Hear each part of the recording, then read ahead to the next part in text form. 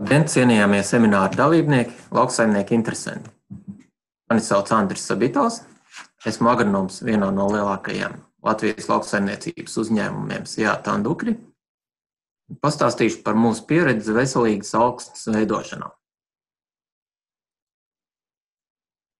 Tandukra apsaimnieko 4600 hektāru lauksaimniecības zemju Latvijas dienvidu rietumu daļā. Audzējam ziemas kviešus 2000 hektāru, un pat 1000 hektāriem ziemas rapsi un lauka pupas. Un tās ir tradicionāli audzētas gan Latvijā, gan mūsu saimniecībā kultūras ar pastāvīgu pieprasījumu tirgu, prognozējumām cenām. Tāpat arī ārpus augstsekas 600 hektāros galvenajām kultūrām mazāk piemērotos laukos audzējam zālājus, sēklu un biomasas ražošanai vasarājus, starpkultūru sēklu ražošanai un esam ierīkojuši arī dažādus ražošanas izmēģinājumus. Un mūsu augstsaka ir ziemas kvieši, pēc kuriem sējam ziemas rapsi, pēc kuriem atkal sējam ziemas kviešus, un pēc to novākšanas sējam starpkultūru uz rudens ziemas periodu, lai pēc tam pavasarī atkal iesētu lauka pupas. Un mūsuprāt, Kaut arī tā ir pietiekami veselīga augstseka, gan lauka pupas, oga, slāpekļa saistītāji, gan starpkultūra, oglekļa saistītājs, gan arī nav atkārtoti graudaugu sējumi. Tomēr tā nav ideāla, jo joprojām meklējam kādu alternatīvu, kuru būtu ar labām realizācijas iespējām tirgū, kaut kāda vasarāja kultūra, pirms kuras varbūt būtu pat iespējams ielikt kādu vēl starpkultūru. Bet kopumā gan veselīguma, gan ienesīguma ziņā domājam, ka ir pietiekami labi sabalansēta. Un šeit būs mūsu veselīgu augšņu veidošanā pielietoto paņēmienu uzskaitījums, par katru no kuriem es pastāstīšu nākamajos slaidos. Tā ir precīzā lauksaimniecība, minerālu mēslojuma aizstāšana ar organisko mēslojumu, augšņu mikrobioloģiskās vērtības uzlabošana ar kompostu, minimalizēt augsnes apstrādi, samazināt pārbraucienu daudzums uz laukiem, starpkultūra audzēšana un mūžam aktuālā augstsakas pilnveidošana. Un precīzā lauksaimniecība tā ir lieta, bez kuras mūsdienās, līdzīgi kā bez mobilā telefona, nav iedomājama moderna šāda mēroga saimniecības vadīšana. Un pirmais, ar ko mēs sākām jau desmit gadus atpakaļ, bija augšņu analīžu datu digitalizēšana. Un šeit jūs redzat digitālās augšņu analīžu rezultātus. Un kā ir izmainījies fosfora saturs dažos mūsu laukos astoņu gadu periodā. Un, uh, to ir izdevies izdarīt pateicoties šīm precīzajām tehnoloģijām, lietojot mēslojumu tajos lauku nogabalos, kur tā deficīts, samazinot tur, kur viņš ir pietiekamā daudzumā, tādējādi arī mazinot ietekmi uz gruntsūdeņiem, uz virzemes ūdeņiem. Un nākamais precīzās lauksaimniecības instruments mums ir slāpekļa sensori, ar kuru palīdzību mēs veicam dalītu slāpekļa iestrādi, arī atkarībā no tā, cik daudz sensors saskata katrā lauka nogabalā Tāpat arī izmantojam šo tehnoloģiju atsevišķu pesticīdu veidu iestrādē, apstrādē.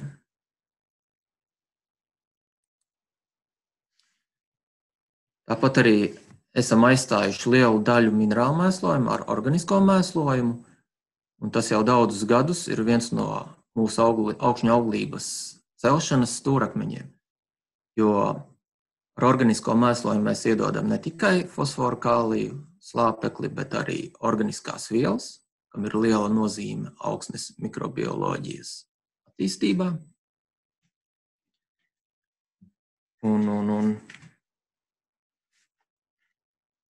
ja sākumā tie bija putnu mēsli, ko mēs iepirkām no putnu fabrikām, tad, tad jau vēlāk, pārējot uz tiešās sējas tehnoloģijām, mums radās aktuāls jautājums, kā iestrādāt kūtsmēslus. Un uh, nolēmām kompostēt. Jo kompostējot, mēs pārvēršam viegli šķīstošus, viegli gaistošus savienojumus, daudz stabilākos, organiskos savienojumos, līdz minimumam samazinām amonijas lāpekļa formu, līdz ar to arī nepatīkamo kūtsmēslu smaku. Un tas dod iespēju iestrādāt šādu mēslojumu, veicot sēju, sekli augsnes virspusē.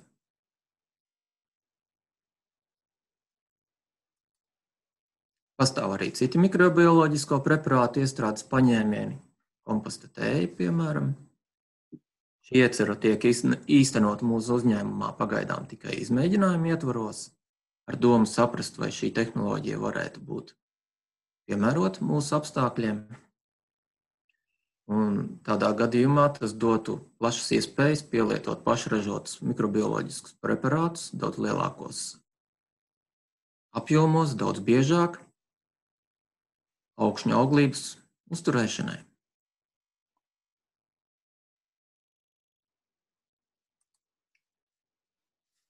No augsnes minimālās un bezapstrādes tehnoloģija. Pirmo reizi mēs ar to sākām deviņu gadu atpakaļ, kad iegādājāmies savu pirmo striptilu sēju mašīnu Klaidonu.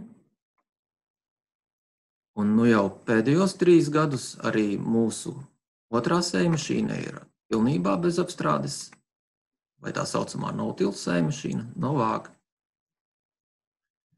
Un paralēli strādājot ar dažādām tehnoloģijām, novērtējot plusus un mīnusus, mēs esam pamazām deviņu gadu laikā pārgājuši no aršanas uz minimalizētu augstnes apstrādi līdz pat tiešai sējai, kā tas ir šodien, jau gandrīz 90% platībā.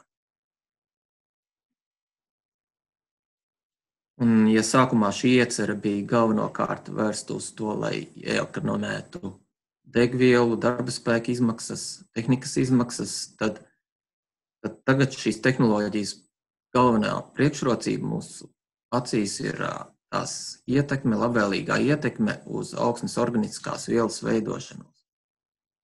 Jo, jo netiek kultivēta, netiek mineralizēta organiskā viela,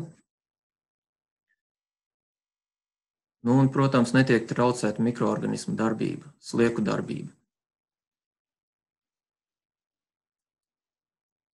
Un nākamais solis ir šādas tehnoloģijas, protams, ir, jāsamazina pārbraucienu intensitāte uz laukiem, jo mums vairs nav iespējas sabojātu lauku, atkal pārkultivēt, pārārt un atkal sākt sezonu no jauna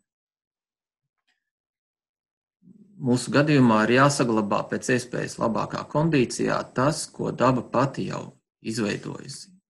Un tas ir laba augsnes struktūra, porainība, ūdens infiltrācija. Un kaut arī tas projekts pagaidām ir izstrādes stadijā, bet mērķis ir saskaņot kombaina, sejmašīnas darbu platumus, arī citu da agregātu darbu platumus tā, lai dažādi agregāti, veicot dažādas operācijas lauka, brauktu pa tām pašām sliedēm. Un tāpat arī ir pierādīts, ka jau pirmais pārbrauciens ar tehniku pār neskartu augsni jau izdara 70% no bojājumiem, ko varētu šai augsnē izdarīt visi nākamie pārbraucieni.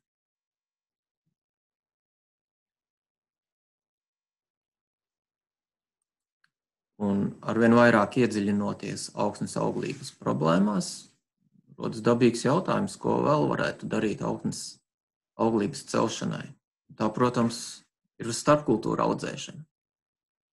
Un pirmajā gadā, kad mēs to spontāni nolēmām uzsākt darīt, pirmais bija ziemas rudzi, jo doma bija, ka tas nodrošinās zaļo segumu līdz pat nākamajai kultūrai pavasarī. uzlabos lauka nespēju nākamajām operācijām un saražos kaut kādu biomasu. Un šajā attēlā jūs redzat, ka ļoti agri mums izdevās braukt, nesabojājot lauku, uzsākt pavasara sēju. Taču blakus efekts bija rudzu sārņaugi sekojošos kviešu sējumos. Tāpat arī izmēģinājām facēliju vienā laukā. Tur bija laba biomasa, laba biezība un uzlaboja augsnes struktūru, ziemā nosala. Taču tas bija tikai iespējams pie ļoti agras priekšauga novākšanas. Mums bija viens lauks ar ziemas miežiem, kur to izdevās izdarīt.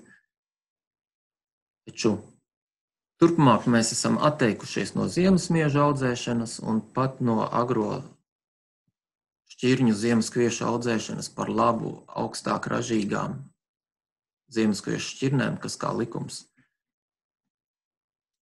tiek novākts augusta sākumā līdz vidū. Un no tā arī izriet mūsu turpmākie priekšnosacījumi starpkultūra izvēlē respektīvi diezgan vēls sējas termiņš un ierobežots tas kultūra augu spektrs, ko vairs var izvēlēties. Un šeit jūs redzat mūsu turpmāko starpkultūras sēklu sagatavo, maisījumu sagatavošanas evolūciju. Jau nākamajā gadā mēs izvēlējāmies daudz plašāku kultūru spektru, bija auzas, griķi, vīķi un kā alternatīva ziemas rudziem airene, viengadīga airene, kurai pēc mūsu domām vajadzēja nosaukt. Pie pēdējām siltajām ziemām, ziemām kādas tagad ir, tas ne tā nostrādāja, tā airene izdzīvoja un atkal radīs sārņauku problēmas sekojošās kultūrās. Un jau nākamais gads, kad mēs iekļāvām jau grīķus, siltā klimatā oglekļa ražotājus, saules puķu kukurūzu, kura spēja augt vēl augt, jau veidot virs auzām nākamo stāvu, pēc tam, kad daudzas jau savu potenciālu ir sasniegušas, un dot papildus biomasu. Taču Šis gads izrādījās ar neparasti agru rudens salmu, kur lielākā daļa dienvidnieku izsala, un beigās mums palika diezgan trūcīgs sējums izratots, un arī auzas pēc tam apkrita ar rūsām, zaudēja lapu virsmu, un rezultāts bija ne tas, ko mēs tiešām gribējām ieraudzīt. Tādēļ, ņemot vērā iepriekšējo gadu pieredzi, mēs jau veidojam nākamo maisījumu. Jau iepriekš zinot, ka nav iespējama tik agra sēja, mēs līdz minimumam samazinām saules puķu, kukurūzu. Un pēdējos sējumos pat vispār viņus izslēdzam, un kā galvenais vēsā klimata ražotājs mums, oglekļa ražotājs ir auzas. Un tā, to kompanjons vīķis, kurš samērā izturīgs, ir pie pirmajām rudens salnām un turpina augt pat līdz oktobrim reizē ar tām auzām. Un šeit divi attēli, kas ilustrē pēdējo divu gadu rezultātus. Jūs redzat izretinātu pirmajās salnās auzu sējumu, kur nedaudz facēlija ir. Un, uh, viņas apkritušas ar rūsām, varbūt tā agrā salma to veicināja, varbūt nebija īpaši veiksmīga auzu šķirnes izvēle. Un, uh, to mēs ņēmām vērā nākamajā gadā. Un šeit jau pavisam cits rezultāts. Un jūs redzat, vīķi un auzu, divi galvenie. Auzām ir pietiekama lapu virsma, ir slimīgu izturīgāka šķirne, ir vēlākā auzu šķirne izvēlēta. Nu, un skatoties uz šo rezultātu, mums atkal jāizdomā, ko vēl varētu izdarīt labāk priekš nākamā gada starpkultūra maisījumu. Mums jau izmēģinājumos ir iesēti vasaras rudzi, kas izauguši jau krietni garāki par auzām. Tikai neesam īsti droši, vai pārāk liela biomasa atkal nebūs šķērslis, neradīs problēmas pie pavasarī pie pupusējas. Tas viss jāizvērtē. Un jāpieņem attiecīgi lēmumi. Un arī šī tabuliņa parāda, kā daba pati mums palīdz iemācīties to, ko mēs neesam iemācījušies. Vai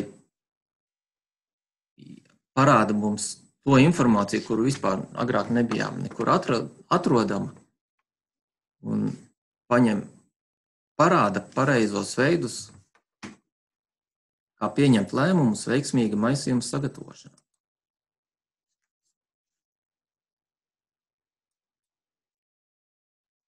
Nu, šeit ir viens no mūsu variantiem, izmēģinājumos, kur saules puķe, kur nebija agra salna, gadā, kad nebija agra salna.